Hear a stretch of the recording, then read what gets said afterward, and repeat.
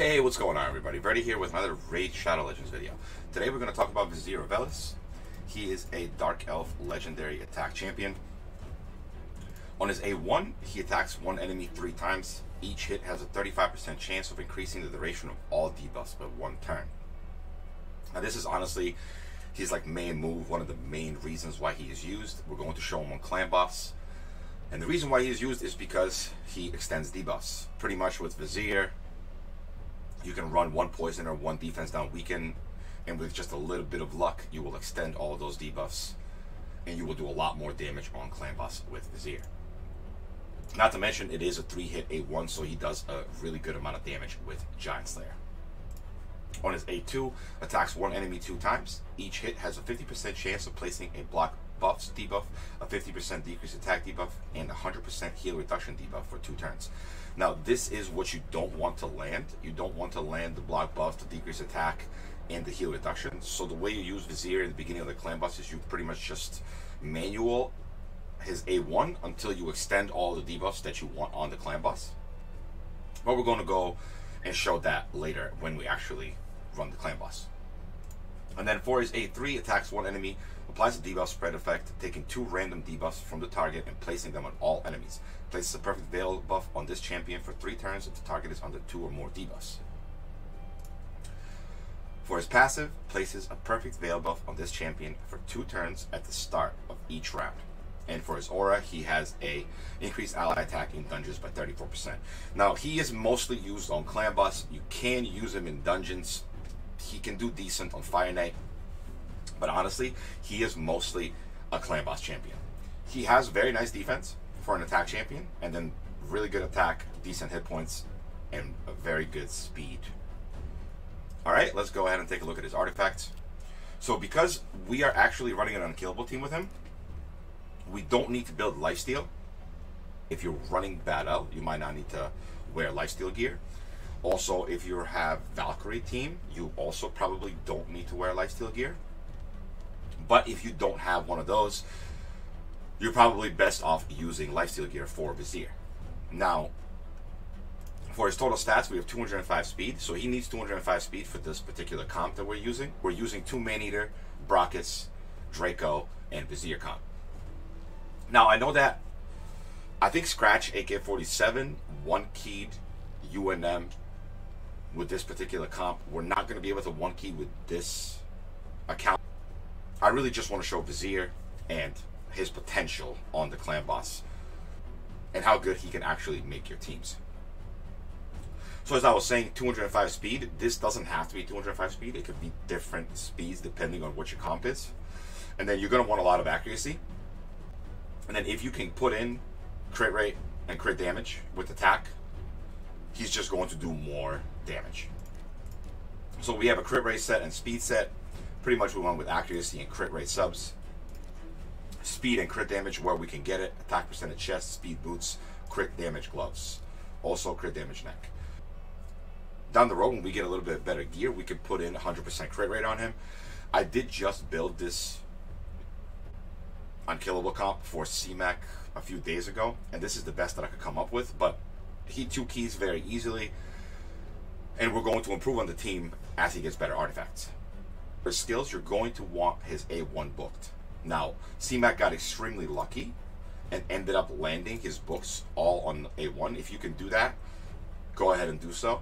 If not, you might have to fully book Vizier. I don't know. I mean, you're going to have to manual a lot longer in the beginning of the fight if you do not book this. So you can still use him, but he won't be as effective, especially because he'll be using his other moves once you put it on auto. Okay, so for his masteries, you pretty much need Giant Slayer, and then you're going to want the Retribution counter, so when you take more than 25% of their max hit points from a single enemy skill, you have a chance to counter You definitely want that. And then, like I said, you want Giant Slayer. Everything else is really optional. I didn't get this because he's going to be at low health with Maneater Unkillable. So I got Grim Resolve instead. And then Methodical is also something that you're going to want because he's going to do more damage with his A1. Okay, so that's it for the masteries. Let's go ahead and run the clan boss.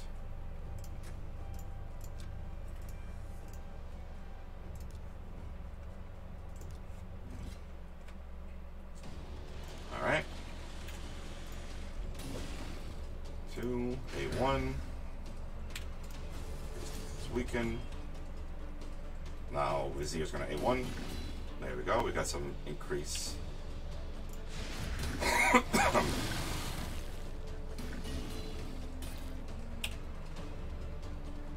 Killable. A2 with the second man eater. Get some poisons on there. And then hopefully we get some extensions here.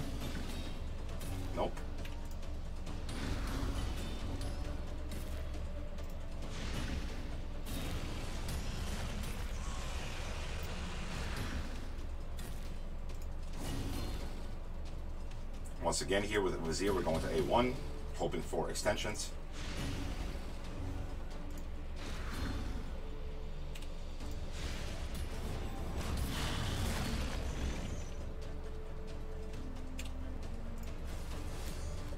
The thing that's going to make this really nice too is that once Vizier extends the decreased defense and weaken, we're not even going to have to use Draco's move anymore. So Draco's going to continue A1ing and poisoning, which is going to provide us with a lot more damage at the end of the day as well. Okay, once again, A1. There we go, perfect. Getting some extensions.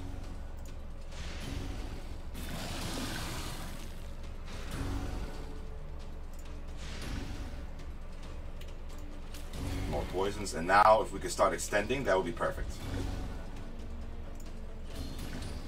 Just like that. We have two, four, six, eight, ten. It's exactly what we want.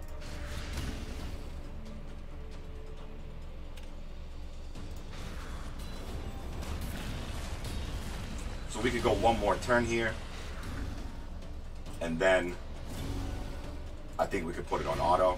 Sometimes I take it off auto just... Oh, look at that. Perfect.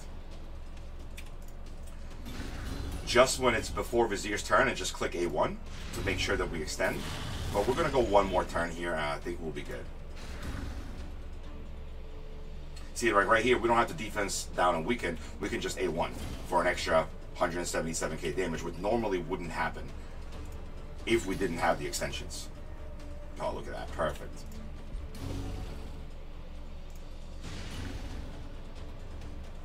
Absolutely beautiful. Alright, and see, like, we'll use poisons here because that'll do more damage than just the A1 by itself. Even though we don't really need poisons. Okay, Vizier again. Come on, give me some. Oh, perfect.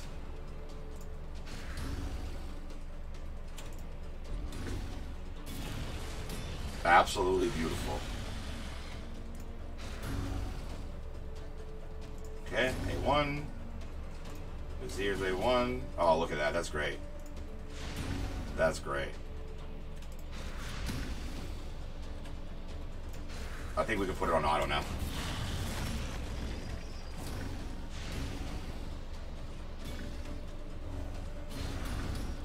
So like right there, if I didn't have a lot of debuffs, you could just take it off auto and click on Vizier right before he gets his turn. So like right here, can A1 and then you can Vizier's A1 again and you can put it on auto. If you're paying attention. But like I said, around turn 7 or 8, if you get a couple of debuff extensions, you can just go ahead and usually put it on auto. No matter what team you're running, if you have the bar full with like 5 or 6 extensions, you should be all set for the rest of the fight. Unless you get extremely unlucky.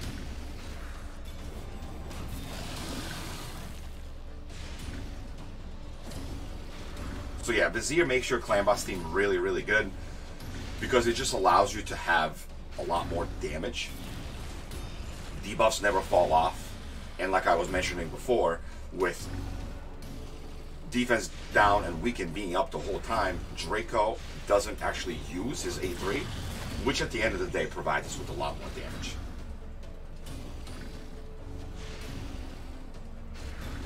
See, like, we have one of those poisons getting a little bit low. If Vizier doesn't counter attack here, or extend that, there we go, never mind.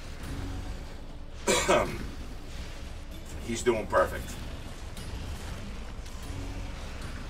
But yeah, and as I was mentioning before, with better artifacts on everyone, probably Savage gear on Brakus and Draco, and probably even Vizier you can one key Ultra Nightmare with this comp.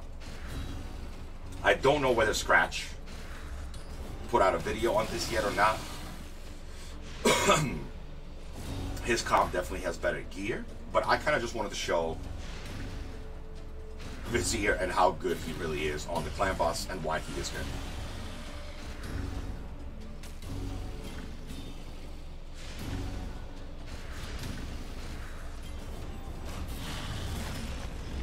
Brakus works really well here with Vizier and Draco because they're both attack-based champions, so they hit harder with Brakus' attack up. In this unkillable comp, Brakus is an awesome, awesome damage dealer. Obviously, no one's going to be able to beat Draco here, especially with Vizier extending the debuffs. But Brakus does really, really well. We're actually getting really good luck with Vizier extending too. See, once he's booked, it's so much easier. We were running this first when he wasn't booked, and I had to uh, cut in and stop auto and uh, A1 with him, kind of like I was showing you guys. Like, as you see there, that's 100k damage from Vizier there with the two-hit move that he does. So it's definitely worth it to build him for damage. His A1 hits decently hard. Three hits, 25k each, so 75k. 75k damage. Or 30k per hit. Yeah, Vizier is definitely uh, a very good champion. And he does do good damage himself. He is not just there for the debuff extension. We're doing a really good average here as well. Over a million a turn. I'd like for this comp to always do over 50. Which it should. It definitely should. I don't think those debuffs are going to fall off. If they do, I'll be very sad.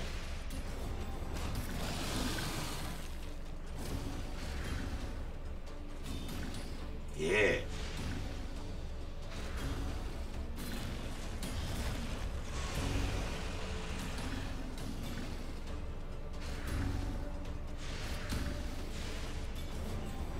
Man-Eaters as well do a decent amount of damage. So if you are trying to one key with this comp, you're going to have to build everyone for really, really high damage. 100% crit rate, as much crit damage as you can get, much attack as you can get. Seeing that's how they are all attack champions, Brock's attack up will buff everyone.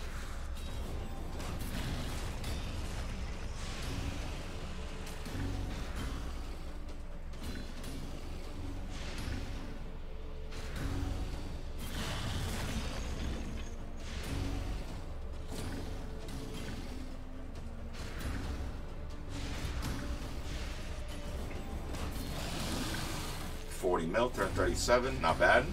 I'll take it. No extensions. Come on, Vizier. Don't fail me at the end here. Perfect.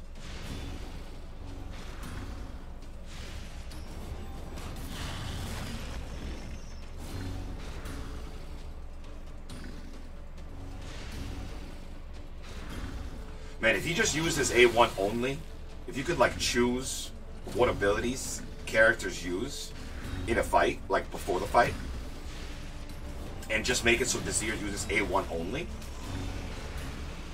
I think he would end up doing a lot more damage. Because it's not really about increased debuff at that point. I think the 3-hit A1 with the Giant Slayer overall does more damage than his other abilities.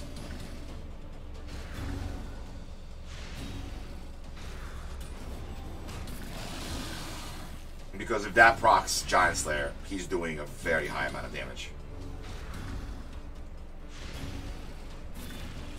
But yeah, this will definitely be over 50, so I'm happy with that. After the fight, I'll just go ahead and show the speeds of everyone real quick.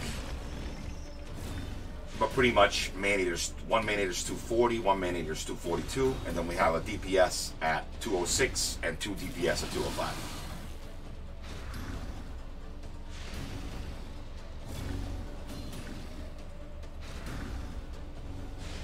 Oh no, we had some poisons fall off.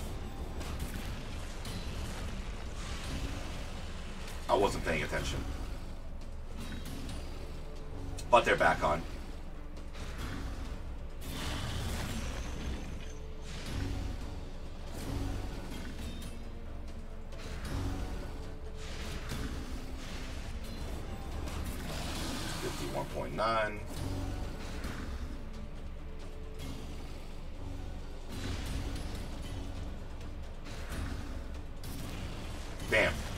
53.2.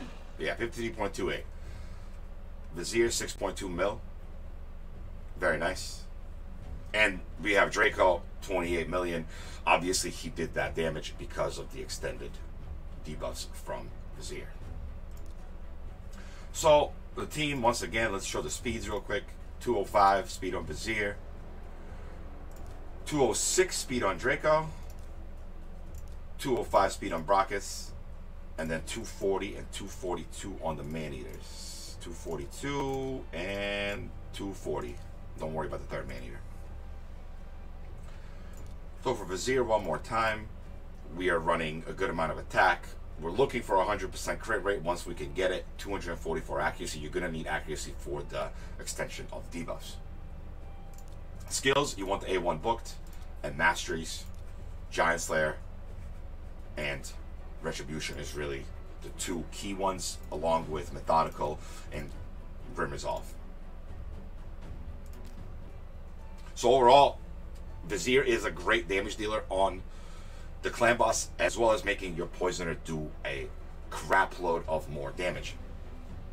He's also decent in dungeons, but like I said, I would mostly use Vizier on the clan boss to debuff extend, kind of like I just showed on my unkillable comp. I think that's going to do it for today's video, guys. Please leave a like and a subscribe, and I'll see you all in the next one. Peace.